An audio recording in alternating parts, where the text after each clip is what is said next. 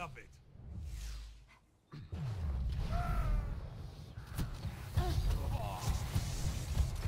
What is he doing? He's beginning to believe.